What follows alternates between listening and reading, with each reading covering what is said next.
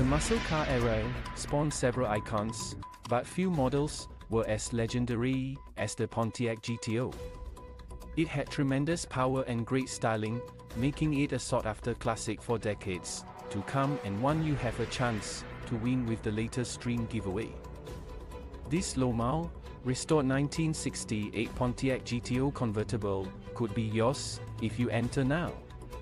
This GTO has just 32,000 miles on the odometer and has undergone a frame-off restoration.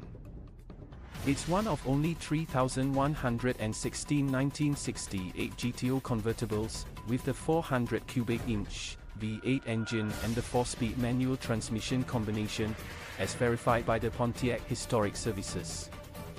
Making it a rare example, you shouldn't pass up a chance to own. Pontiac finished the GTO's exterior in cameo ivory paint, pairing it with a black interior and a black convertible top. It came from the factory with hideaway headlamps, upgraded gauges, rally two wheels, a center console, a heavy-duty clutch and fan, front disc brakes, a ride and handling package, an AM radio, and a Safe-T-Track limited slip differential. Included with the GTO is a binder detailing the previous owners and the car's history. The car was built in Maryland in 1968 before arriving at a dealership in Pennsylvania. It would end up in Texas.